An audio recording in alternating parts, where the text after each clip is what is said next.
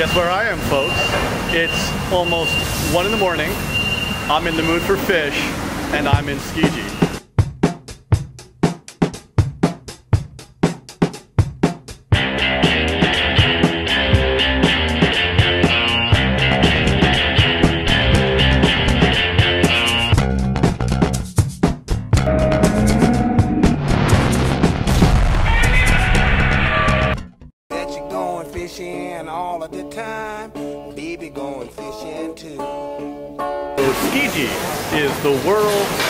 Largest fish market, and uh, it shows just walking around here. Actually, uh, this market won't be here for long. They're going to move it in about six years because this building's getting pretty old and ratty. Um, but yeah, it's an amazing place, and this must be a stop on your trip to Japan. So join me for a tour of dead fish, blood guts, and delicious.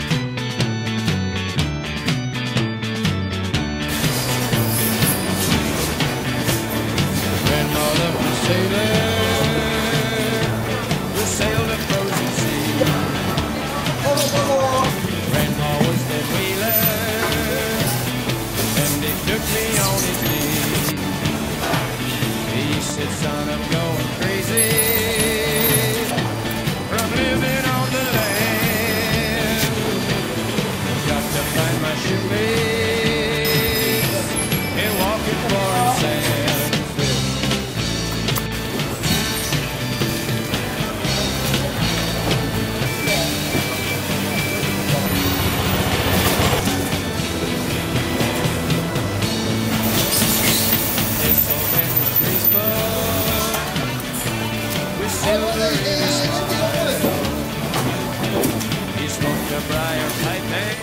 of makes me glad that my great, great, great ancestral creatures crawled from out of the sea.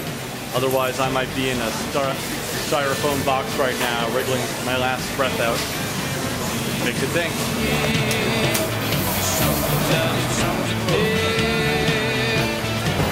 I don't know why, but that fish seemed surprised. He seemed shocked, actually. Shocked, like uh, he just walked in and seen some horrible thing happen. Maybe uh, he was alive when he got here and died soon after. Now crabs are not smart, but you know those crabs have to know that something's up. Something's not going to go right in the near future. Not, not good.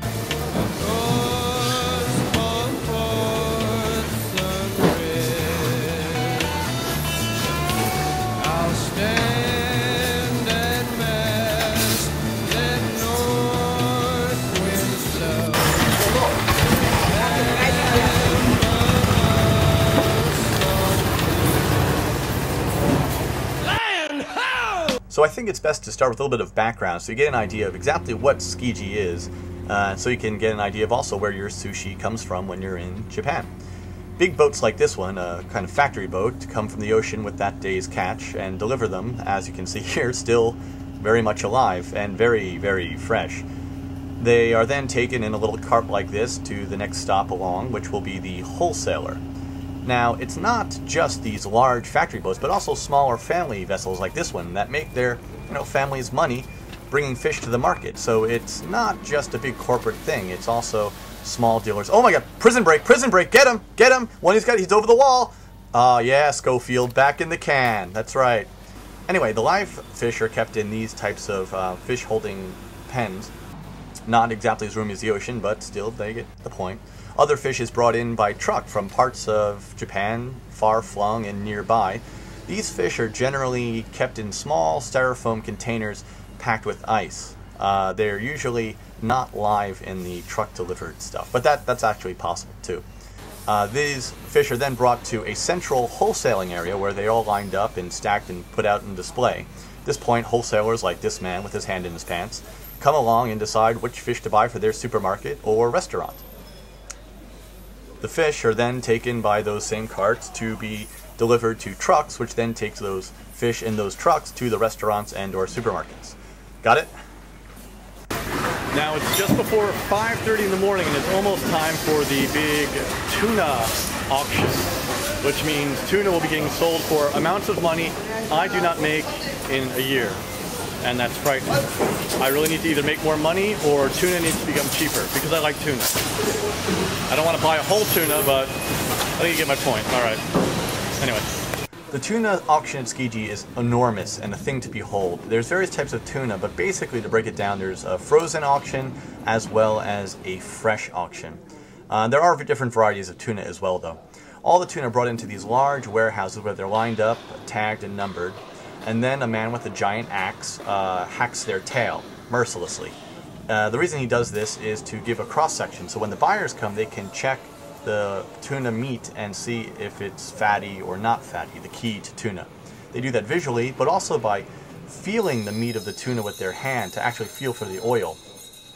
Another way they can check to see the amount of oil or fat in the tuna meat is with the metal sticks. They poke it, and if it bounces back, that means there's more oil, more fat, and more deliciousness. Then the auction starts, this man rings a bell, and everyone makes their final checks to see which one they want to bid on, or which ones. Then he starts shouting some incoherent fishmonger babble. There's also an incredibly complicated range of hand gestures that are used to denote what the selling price is and also who's buying and where it's going. Then the tuna are loaded onto carts and trucks and taken away to a restaurant near you where you eventually. The wholesalers area at the beginning of the video and some areas are off limits, but the auction is open to the public as long as it's marked with a visitor area entrance sign. Definitely check it out. You can't miss it if you visit Tokyo.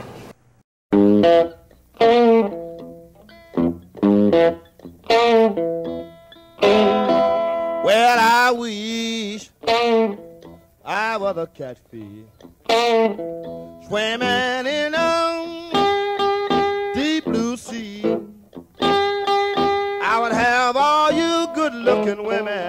fishing, fishing after me, fishing after me. Shauna, Shauna.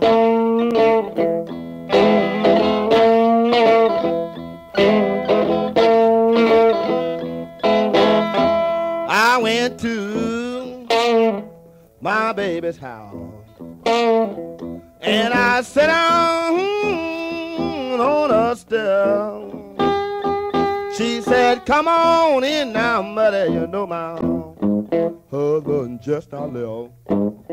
Sure enough, just now left. Oh, Lordy. Oh, Lordy.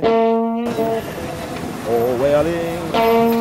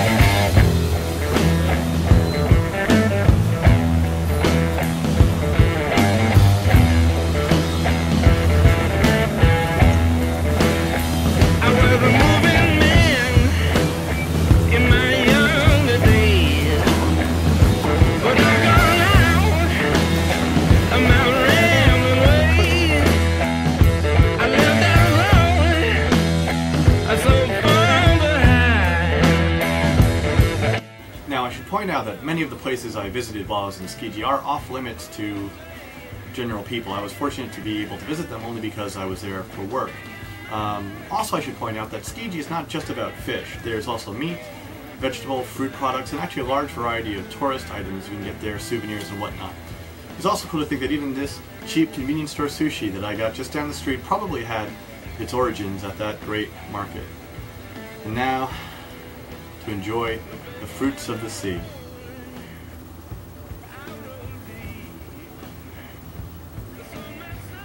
Should probably do this in the other room. Sorry.